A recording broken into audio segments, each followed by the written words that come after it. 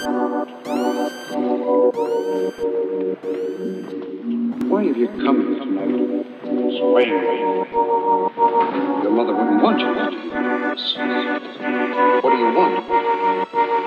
You gotta do something about my mother. She's in? She's dead.